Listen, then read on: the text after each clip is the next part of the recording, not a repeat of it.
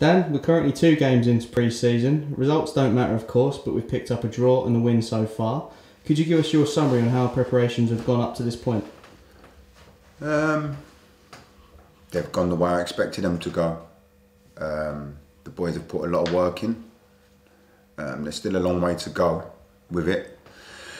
Um, as you with the two games that we've had so far, we split it into two groups, um, and by doing that, we manage people's minutes. But by doing that, you sort of weaken both teams. I think the first game was a typical first game. We lacked cohesion. Um, I think no matter how much you train, you get that first game, and that burning feeling in your chest comes. Um, but I think we we was okay in the first game. I wouldn't say we was great. We was okay. We was all right in spells, in in patches, and then I think the other night we was a lot better. Um, I think from watching that first goal back, I don't think you see a lot of goals like that in non-league football, which I was impressed with so early on.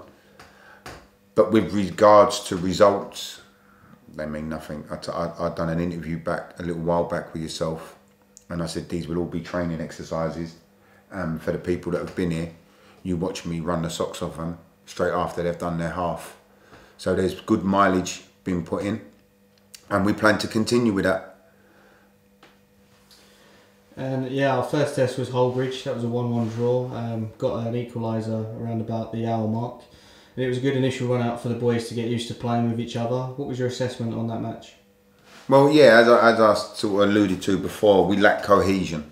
So you can train until the cows come home, but that match day intensity, the feel you get, the partnerships you get, we're still going to lack that for a while because you're not putting your team together. You're managing everyone's minutes. We got a, a new medical team in now, uh, and we're very big into the sports science. So developing the power and the strength behind the actual player, as much as what people see at the minute, it's all a process. It's a process. I don't think you really, if you look in the past, I don't think you really see where you're at until at least five games into the season. Uh, people keep talking about a good start, slow start. I don't think that the season's decided then, and I think this is all a process of getting everybody together. Yep, and then on Tuesday in the heat against Harlow, we won 3 1. I think we was all impressed with how good the football was and the intensity throughout the match. Do you think the players found their feet a bit more in that one? I just think it's going to be like that as you go into it. The more games you got, uh, the more minutes you have. I think the idea of the way the pre-season's been is we hit it really hard. We're breaking into the games now. We're managing the minutes. You would like to see a gradual progression to be ready to start at the beginning. And at the start of the month, we had our team day out with the under 23s at Nuclear Races. That's something we've not really done before. So, how did that come about, and what were the benefits from that day? Uh, it come about through Laurie. Um, you know, Laurie's like a keep fit Lizzie. Um, he was at the front of everything. he was cheering everybody on. Um, that was an idea that he put together. Uh, we will look to do something else as well. I think for the league that we're in, I think for where we're at as a football club, for everything that we've all been through the last few years, it's massive for the football club to have a togetherness, uh, a camaraderie, uh, within reason, a connection on and off the pitch. Um, and I think that was massive towards that.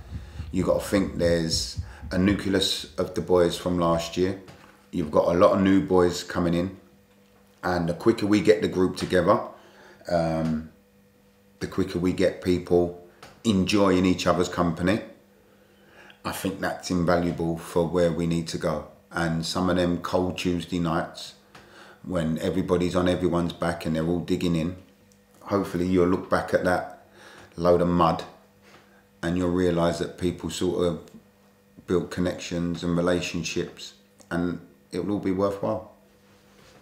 And next up for us is a Tottenham XI on Saturday, which will be a different challenge, one that we've not had so far. Um, how will we approach that one?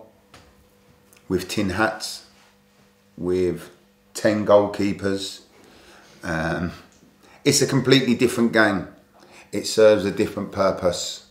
We'll be looking at a lot of work off the ball. We'll be looking at people's discipline levels and game understanding. Um, I'm not the weatherman. I don't know what the weather will be like, but uh, we got the evening kickoffs. So that'll be uh, a little bit better. But these are games that these players should be chomping at the bit to play in. Um, I always love pre-season uh, when you'd play like the big teams. Um, and for us to even get the opportunity, we're very fortunate. You've got to think with our pre-season and with me taking the job uh, so late on, it was a lot to put everything together. It was a lot. It's been a tough summer, and to get uh, a Spurs team down here, it should be a good day. You got the women playing in the day against West Ham. I don't think there's many Isthmian Prem teams there's not many there's not many teams at our level that will be having two teams turn up on a day and be having like a, a community day like this. So it's a day to enjoy. I won't enjoy it. I'll be going crazy um, because it's another working day for me. But for the football club, it's a great day, and I hope everybody enjoys it. Yeah, and what sort of team can we expect to play against Tottenham? A football team. You're always fishing for information. All we'll be doing against Tottenham is getting people's minutes up.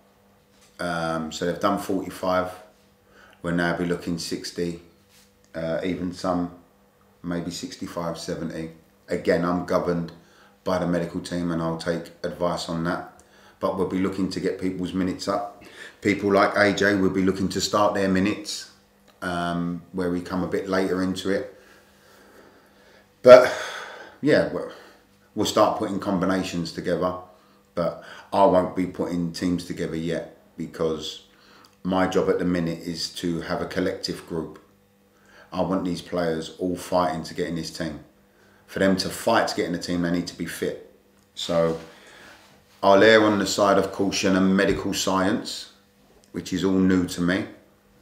Um, but it will be about getting more minutes in the legs. And finally, are there any areas of the squad you think we need to look at strengthening before the season starts? Um, I wouldn't say areas. I wouldn't say areas. Um, if I look at it, and I'd be interested to see what people think, but what their starting team would be, because we've got good numbers um, and we've got hungry players but we'll probably look to bring one or two more in. The earlier I can get that done, the better. Um, but we'll get one or two more in, and then we'll shut the doors, and that'll be us ready to go forward.